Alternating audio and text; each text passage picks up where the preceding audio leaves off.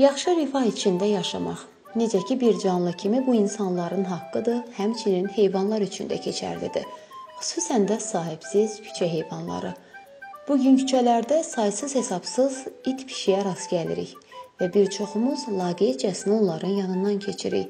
Hərdən onlara bir damcı mərhəmət, sevgimizi belə əsirgəyirik və ən pisi də budur ki, belə heyvanların sayı durmadan artır.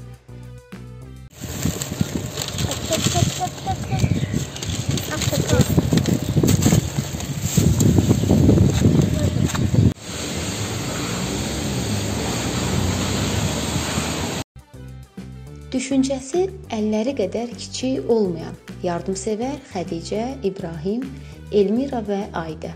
Onları siz də tanıyın. Dünyanı ağuşuna alan koronavirus pandemiyasının yayıldığı bir vaxtda hər kəsin unutduğu küçələrdə sahibsiz olan heyvanları onlar xatırladı.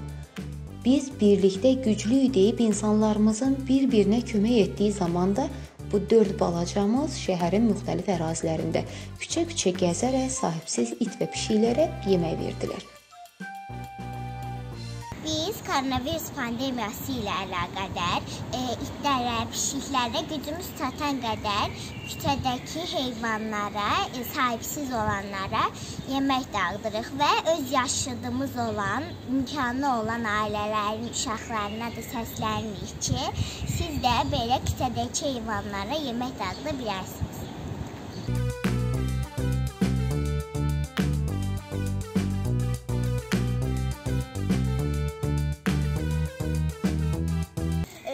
İsə biz gedirik heyvan e, itlərə və pişiklərə e, yemək verməyə.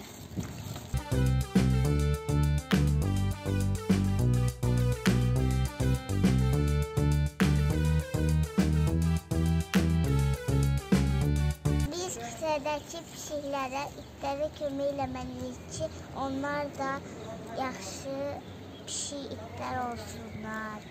Onlar da yaxşı biz böyüsünlər, Aha. sağlam qalsınlar. Koronavirus da da dünyamızdan getsin, tərtəmiz dünya olar.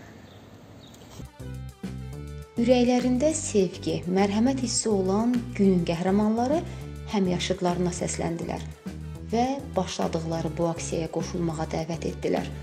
İnanırıq ki, onlar kimi düşünən uşaqların sayı çoxalacaq. Çünki heyvanlara qarşı sevgi mədəniyyəti məhz belə başlayır. Balaca Aydənin dediyi kimi, tərtəmiz dünyamızın olması üçün düşüncəmiz, sevgimiz, niyyətimiz də təmiz olmalıdır.